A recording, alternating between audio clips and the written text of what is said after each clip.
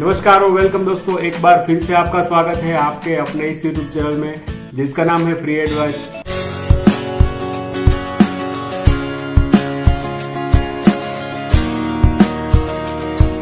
दोस्तों, अगर आपके पास खुद का मकान नहीं है और आप भाड़े के मकान में रहते हैं मतलब कि आप जिस मकान में रहते हैं, उसके लिए आप रेंट यानी कि भाड़ा देते हैं तो इनकम टैक्स एक्ट में कुछ ऐसे प्रावधान है, जिससे भी जिससे कि आपने जो अमाउंट भाड़े के स्वरूप में दी है वो, या फिर उसका कुछ हिस्सा जो है, वो आप इनकम टैक्स छूट के स्वरूप में प्राप्त कर सकते हैं।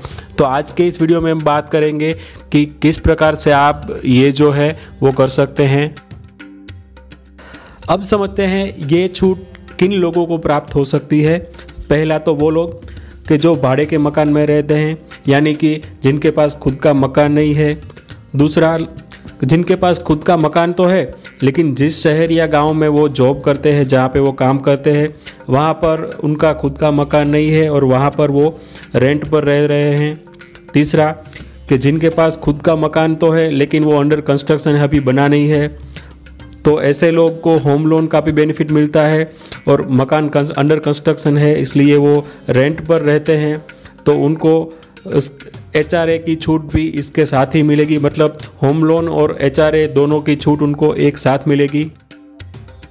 अगर आप एक सेलराइड है, यानी कि नौकरी पैसा है, और आपको हाउस रेंट अलाउंस यानी कि एच अलाउंस जो है, वो अपनी सैलरी के साथ मिलता है तो भी आप इनका लाभ ले सकते हैं। और अगर आपकी सैलरी में एचआरए नहीं मिलता और आप एक सेल्फ एम्प्लॉयड है, आप एक व्यावसायिक है, तब भी इन दो, इन दोनों ही किस्तों में आपको हाउस रेंट अलाउंस जो है वो इनकम टैक्स में छूट के स्वरूप में प्राप्त हो सकता है। अब देखते हैं कि अगर आप एक एम्प्लॉय है और आपको अपनी सैलरी में एच यानी कि हाउस रेंट अलाउंस मिलता है तो आप किस प्रकार से हाउस रेंट अलाउंस जो है वो इनकम टैक्स में क्लेम कर सकते हैं? अब यहाँ पे जो लोग एम्प्लॉयज़ है, यानी कि जो एचआरए है, उनकी सैलरी स्ट्रक्चर का एक पार्ट है। मतलब उनको सैलरी के साथ एचआरए मिलता है। तो ऐसे लोगों के लिए इनकम टैक्स एक्ट के सेक्शन 10 ओब्लिक थर्टीन ए के अनुसार उनको जो ये छूट है वो प्राप्त हो सकती है। अब ऐसे लोगों को अपना हाउस रेंट अग्रीमेंट या फिर उन्होंने जो हाउस रेंट पे किया है, उसकी रिसिप्ट को, यानी कि रसीद को अपने एम्प्लॉयर के पास सबमिट करवाना होगा, जिससे कि फॉर्म नंबर 16 जब जनरेट हो, तब उनको ये छूट प्राप्त हो जाए। लेकिन अगर आपने ये नहीं किया, फिर भी आप अपना इनकम टैक्स रिटर्न फ़ाइल करते वक्त ये जो छूट है, वो प्राप्त कर सकते हैं। तो देखते हैं किस तरह से आप ये छूट प्राप्त कर सकते हैं, कितनी छूट आपको मिल सकती है। अब यहाँ पे आपके पास तीन ऑप्शन है। पहला ऑप्शन है कि जो एक्चुअल एच आपको सैलरी में मिला है वो। दूसरा ऑप्शन है कि आपकी बेसिक सैलरी और डीए दोनों को मिलाकर उनका 40 परसेंट अमाउंट या फिर अगर आप मेट्रो सिटी में रहते हैं तो 50 परसेंट अमाउंट और तीसरा ऑप्शन है जो आपने एक्चुअल रेंट पे किया है, उसमें से आपकी बेसिक प्लस डीए का 10 परसेंट निकाल दो। ये तीन ऑप्शन में से जो आपका सबसे कम होगा, वो आपको छूट के स्वरूप में प्राप्त होगा। अब मान लीजिए मिस्टर एक्स जो है, वो मुंबई में रहते हैं और नौकरी करते हैं। उनको हर महीने पच्चीस हज़ार रुपये हाउस रेंट देना होता है। उनकी महीने की बेसिक सैलरी है जो है, वो फोर्टी फाइव थाउज़ेंड है। उनको हर महीने सात हज़ार रुपये डी मिलता है और एचआरए के स्वरूप में उनको हर महीने दस हज़ार रुपये मिलते हैं। अब यहाँ पे इनको हर महीने दस हज़ार रुपये एच मिलता है तो बारह महीना का मिलाकर एक लाख बीस हज़ार रुपये होता है। अब दूसरा ऑप्शन है fifty percent of basic salary plus DA. तो यहाँ पे मिस्टर एक्स जो है वो मेट्रो सिटी यानी कि मुंबई में रहते हैं। अगर वो नॉन नॉन मेट्रो सिटी में रहते हैं तो उनके लिए ये फोर्टी परसेंट मिलता है। तो ये कैलकुलेशन करते हैं, उनकी बेसिक है फोर्टी फाइव थाउज़ेंड और सेवन थाउज़ेंड डी ए बारह महीना का मिलाकर छः लाख चौबीस हज़ार, और उसका फिफ्टी परसेंट होता है तीन लाख बारह हज़ार रुपये अब तीसरे ऑप्शन के अनुसार जो उन्होंने एक्चुअल में रेंट दिया है, उनमें से बेसिक और डीए का टेन परसेंट माइनस करना होगा। तो उन्होंने हर महीने पच्चीस हज़ार रुपये के हिसाब से तीन लाख रुपये रेंट पे किया है, और उसमें से बेसिक और डीए का टेन परसेंट माइनस करने के बाद बचता है दो लाख सैंतीस हज़ार रुपये अब हम तीनों ऑप्शन को कंपेयर करते हैं। तो पहला ऑप्शन जो एक्चुअल एच आर है, वो है एक लाख बीस हज़ार रुपये दूसरा ऑप्शन है, वो है तीन लाख बारह हज़ार रुपये और तीसरा ऑप्शन दो लाख सैंतीस हज़ार रुपये तो इन तीनों में से जो सबसे कम है, यानी कि ऑप्शन वन एक लाख बीस हज़ार सबसे कम है, वो उनको मिलने के योग्य होगा।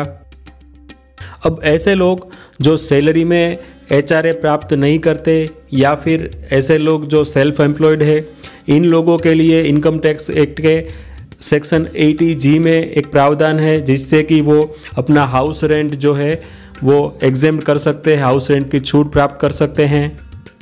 उनके लिए भी तीन ऑप्शन है। पहला ऑप्शन है, उन्होंने जो टोटल रेंट दिया है, उसमें से उनकी टोटल इनकम जो है, उनका 10 परसेंट निकाल दो। दूसरा है, हर महीने के पाँच हज़ार रुपये के हिसाब से सालाना साठ हज़ार रुपये और तीसरा ऑप्शन है, उनकी जो टोटल इनकम है, उसका 25 परसेंट इन तीनों ऑप्शन में से जो सबसे कम होगा, वो उनको इनकम टैक्स छूट के स्वरूप में प्राप्त हो सकेगा। अब मान लीजिए, कोई व्यक्ति है, उसकी सालाना इनकम जो है वो पाँच लाख रुपए है, और हर महीने दस हज़ार रुपये के हिसाब से वो एक लाख बीस हज़ार रुपये हाउस रेंट जो है वो पे कर रहा है। तो उनके लिए पहला ऑप्शन होगा, उन्होंने जो टोटल रेंट दिया है, उसमें से उसकी इनकम का दस परसेंट निकालना मतलब उसने एक लाख बीस हज़ार रेंट पे किया है और पाँच लाख का दस परसेंट पचास हज़ार रुपये निकालने के बाद सेवेंटी थाउज़ेंड मतलब सत्तर हज़ार रुपये बचते हैं।